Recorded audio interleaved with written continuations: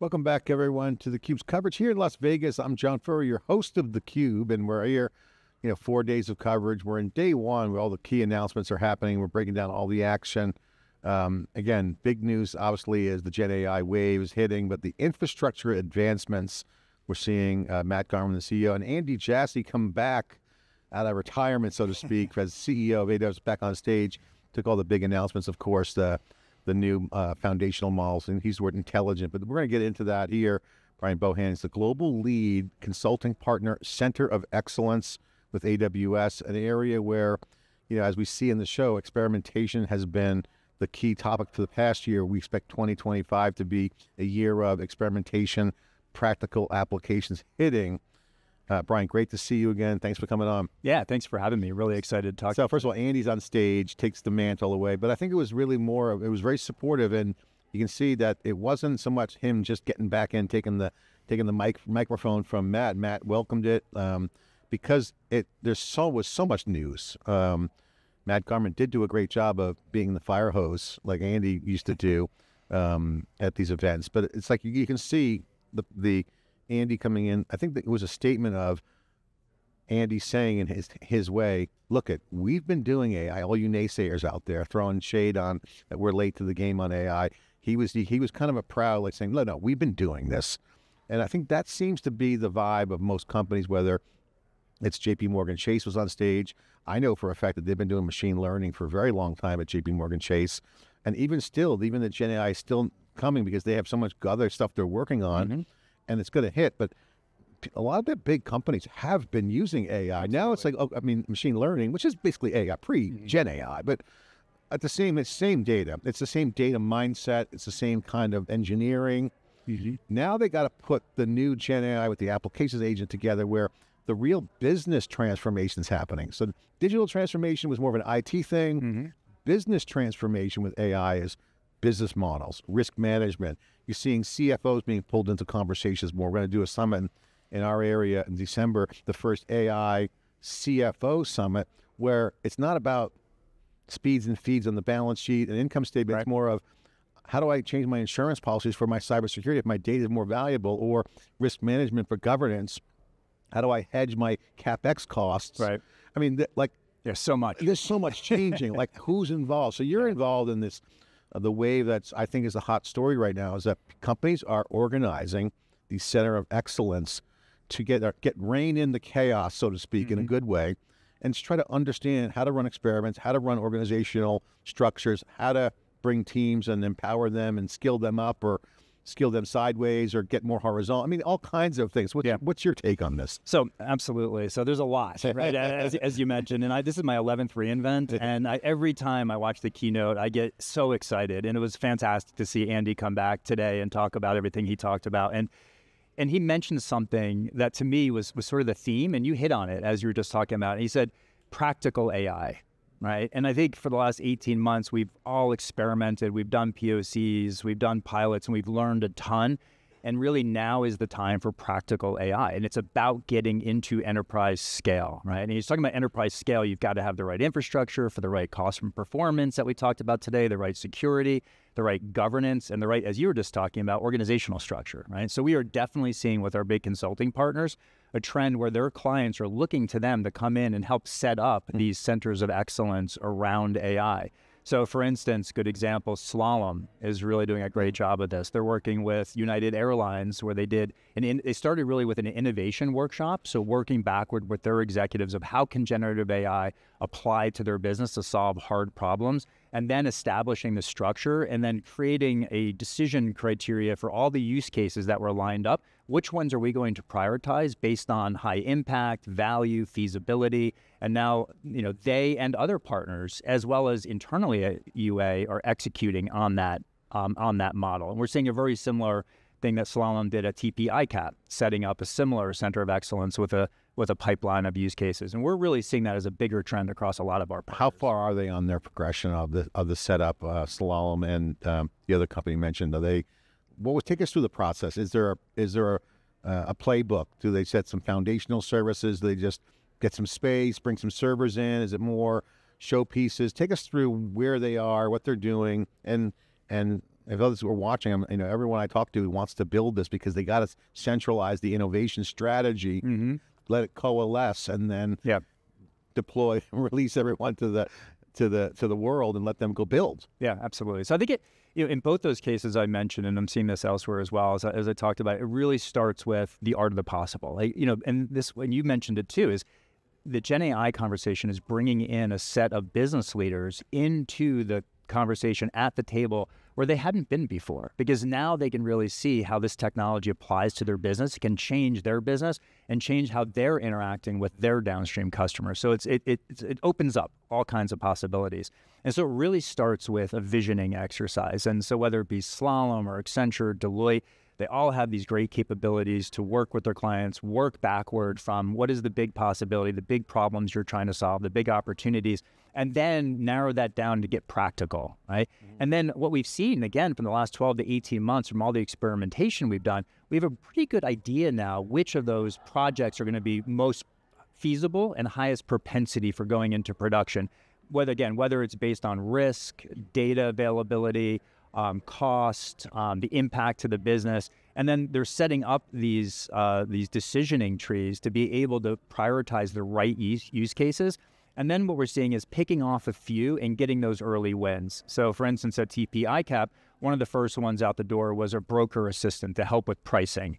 At United Airlines, some of the first use cases were to help travelers as they're delayed or disrupted in their travel to come up with next best options. So do the process, set up the structure, get the governance in place, but then very quickly go out and get some real wins with practical application. I was talking to Matt Garman. He brought this up when I asked him about the, some of the business issues. He went in, in the weeds on inference and, and some cool stuff there. But he, he talked about how customers have to take a step back and look at the value that they're trying to achieve and the outcomes that they want, um, and to understand where AI could be impactful. Um, and it was more of a holistic conversation though around like more of the C-suite thinking. Yep. Um, because there's so much business model innovation going on, there's things that might not have been there. And we've talked about how Amazon has things at scale that other people don't see. So there's a lot more available that may or may not be apparent to the mm-hmm. naked eye, so to speak, in the as you observe your business. And the, Yeah. you look down on it. So okay, this has been like the key to AI is that it's been unlocking not just you know refactoring existing stuff. I got end to end workflow. Yeah, infuse it with AI, no problem. Great, good mm-hmm. stuff. Everything's good. But there's also net new. Wow, I didn't know I had all this data that Yeah. could do Yeah. something new completely, and that's where where the value is. And then obviously he reinforced that later, but also today on stage, both he and Andy said the customer data is the intellectual property. Matt Garman actually said that quote on stage, which Mm-hmm. you know, we've been saying on the cube. It's the IP is the data, Mm-hmm. and it's it's it's on prem. They don't want to just give that to say OpenAI and just integrate into a large language model. Like I said, the language model is going to start working together. I can actually get rein that in, leverage some of the services and compute with Trainium 2, Mm-hmm. and now Trainium 3, intention. So like there's a lot of goodness going on in the cloud. So like this is where they go, okay, I don't know what I don't know. Mm-hmm. Maybe I use AI to figure out what I have for my data, and then then I got to start, you know, writing some software. This is where the progression starts to kick in at the C-suite level. Absolutely. That's like strategy. That's competitive in the strategy. That's how do we create a better customer experience at a lower price or more charge more, whatever the value is. That's not a technical conversation. No, no, no. You're you're right. And so the data, we're also seeing this right as we're moving from POCs and pilots into production for enterprise scale Gen AI. Where the data is matters, and and I think Matt, I'm probably gonna get the number wrong, but I, I think I, I saw you know he said 400 trillion objects in S3. So it's safe to say there's a lot of data running on AWS with our customers, right? And where is that data now with the metadata capability to better understand where that is, how it's going to factor into your Gen AI projects? But you mentioned the C suite, and this is also really exciting, right? And so when we work with our big consulting partners, they've been going to market around industry for years. AWS is oriented around industry as well. And the next step when you're thinking industry is think persona, right? So this summer with Deloitte, we did a big announcement around an AI innovation center, and it's all about building industry centric, persona centric Gen AI applications using Bedrock. And so the first one out of the gate is their AI for CFO. Mm-hmm. So it's the AI for C suite, but the first persona is CFO because they're deep domain expertise in that area. And it's exactly as you say. So now this is a new business leader, and a CFO would be looking at all these projects anyway through the lens of ROI. Now they're looking at them through how much value can I derive from this technology in my end to end workflow. So we've turned the CFO from potentially someone who's looking at and discerning to a customer who's deriving benefit. And we're seeing the same thing now get applied to CMOs, working with, again, Deloitte, PwC, Publicis Sapient. How do we apply Gen AI into the end to end CMO workflow? So, absolutely bringing a whole new set of decision makers to the table to get value out of this new technology. Yeah, and I think these customer excellence centers are going to be.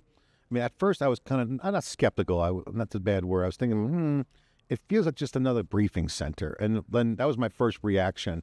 Then when I started talking to folks like Anand, who runs the um, Customer Excellence Center in NYSE, or the parent company ICE, mm. turns out he's got a lot of technology in there. He's got data, and I learned that there's a there's a combination of experimentation with actually hands-on, mm-hmm. but also strategy. So it's a confluence of it's not just hey, give me some technical analysis on a product, and then how do we? There's a there's the the confluence of business strategy and execution of getting the hands-on yeah. going on because you can just integrate into the workloads. I mean, is is that happening? One, and then how is that going to work out? How do you see that playing yeah. out? Because you're in the middle of it. Yeah, no, I think two facets to that. It is happening.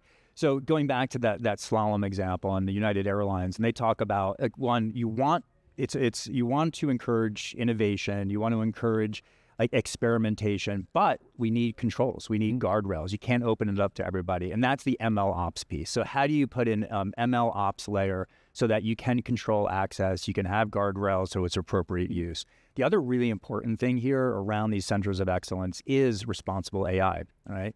So a lot of customers can spend a lot of time taking their regulations, their compliance policies, thinking through, okay, what kind of guardrails do we want to put in place for AI? And it's difficult, or traditionally has been difficult, to take those from like a paper-based discussion and actually instantiate it into applications. But with Bedrock guardrails, we're able to do that. And what we've seen from our partners, so for instance, with Accenture, we did an announcement around responsible AI. They built their responsible AI platform on Bedrock and what that allows you to do is you can take those policies, instantiate them in the in the Accenture platform, and then before you go to production, it'll run a series of checks and it'll tell you where you're in violation of those policies and give you remediation options. Okay, so this is actually how you fix it. Fantastic. Everything is green now.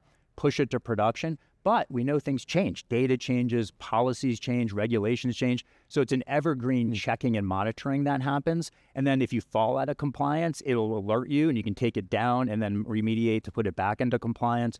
So this is also an absolutely incredibly important piece to these centers of excellence. If you want to do this at speed, at scale, you've got to have these things built in and instantiated, not in paper. Brian, share some commentary around your observations around the participants involved. People are leaning in on multiple sides of the table. You got the companies, mm-hmm. you got the participants, probably from different departments.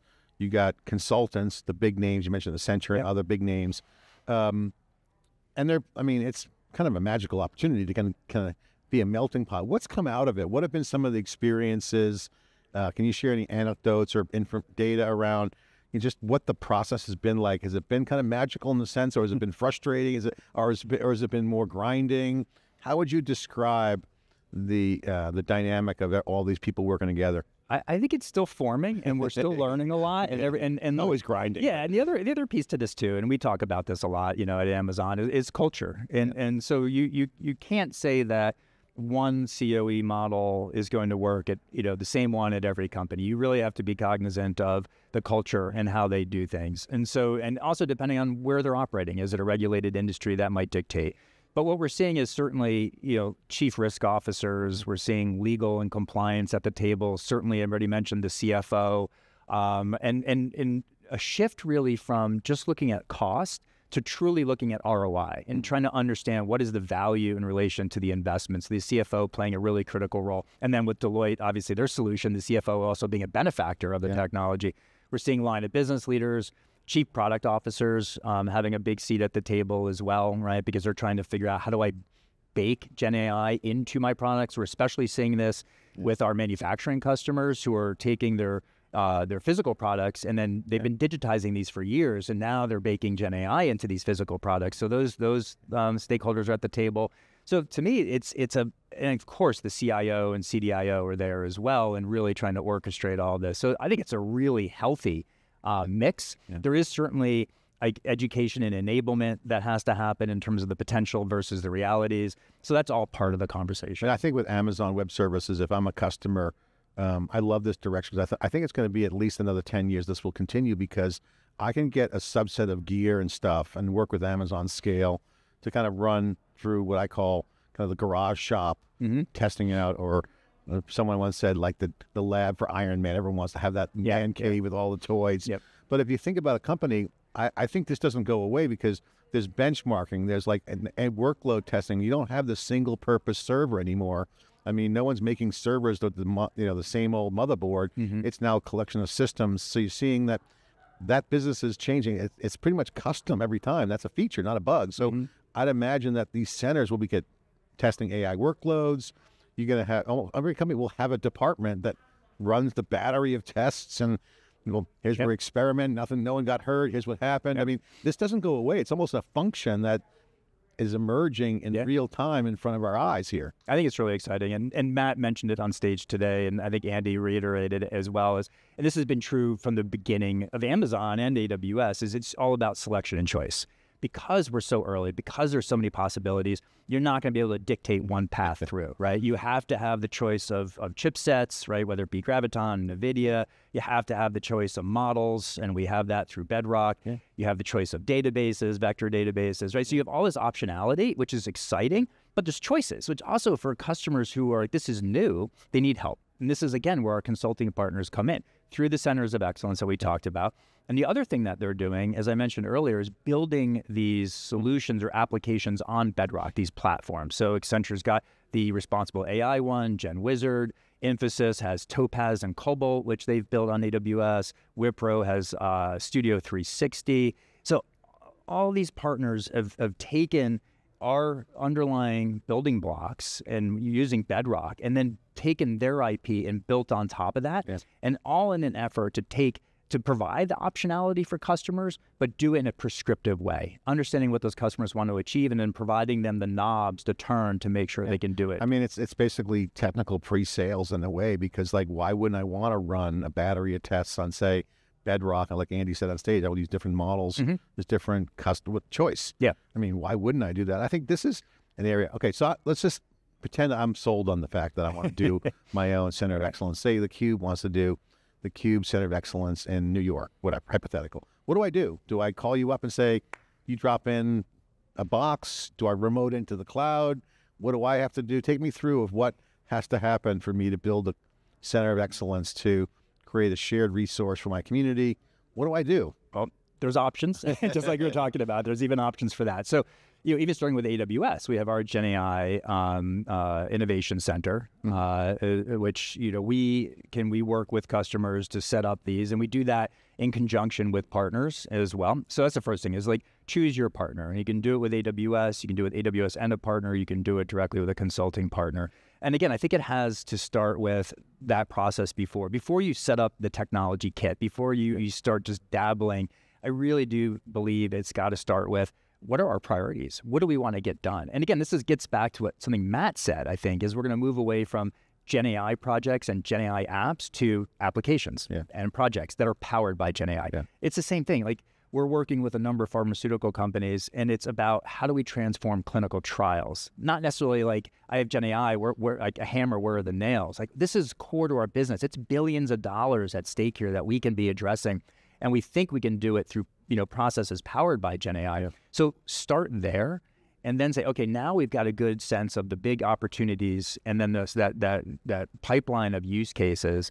And then based on that, that's like what we talked about before. It's super easy with AWS to spin yeah. up an environment. So you're saying you're saying it's situational based upon the context of the the customer. Yeah. It could be a group of people sitting in a, a conference room, or it could be a part of the building with gear. It could be oh, like whatever. a physical innovation sense. I, it could be anything, right? It, it, could be any. You know, we in our New York office, we do have such a innovation center with physical things that you can come and touch, and that might be fine. It could be ephemeral in a virtual environment. I think it's more about getting stakeholders together to identify those opportunities, put a process around it where you can yeah. consistently prioritize the right use cases based on the criteria that you care about It's about then having the technology platform, which again is super easy to do with AWS, working with a partner to make sure you can instantiate all of your guardrails and policies, again, in code so you can do it at scale. So it's that end to end pipeline, right? And then how do you manage that? I see I see it as both R and D, whether it's ephemeral or a workroom. Mm-hmm. okay, we're going to connect to the cloud. It's going to run this Bedrock um, Yep. software. How's it work? Let's take this IP data. Let's see how it goes up. It doesn't really. It's not a. You don't have any requirements other than get gravity around the concept. Yep. And lean into the cloud through your service. Yeah, and I think you can go. The other thing is because now we have um, these business leaders at the table so deeply involved, is you can create that you that create pilot UAT cycle so quickly and get value and start pushing things in their production. Brian, great to have you on. Um, what's next? What's on the horizon for your program? What's your goals? So as I look to 2025, so first of all, super exciting running the Consulting Partner Center of Excellence. We got 35 global strategic partners from our advisory partners, GSIs, Channel. And so we're just going to be continuing to invest in helping them build new solutions on AWS that are really super differentiated. And then it's just about execution. Getting in the market, working with our account teams and our customers about landing those solutions, landing those projects, and delivering value. So super excited. you guys bring a lot of scale, which I think came Yeah. out of the keynote. And my husband Matt, you guys see things at scale and bring scale capabilities Absolutely. to to the AI world. Thanks for coming on. the Cube. No, thanks for having me. Okay, more action coming here. We're just continuing the coverage of AWS. Our four, our twelfth year, one one year more than Brian's been a reinvent. Well, got you by a year, uh, thirteen years total. Uh, great to hear that stat. Uh, coverage here, all the newsmakers, keynotes, folks on stage. Try and get Andy Jassy to come on the cube. Uh, if you're watching Andy, we're gonna still text you until you answer. Um, he's here. He's on stage. Uh, big event, big keynote. Day one kicking off and continuing. We'll be right back.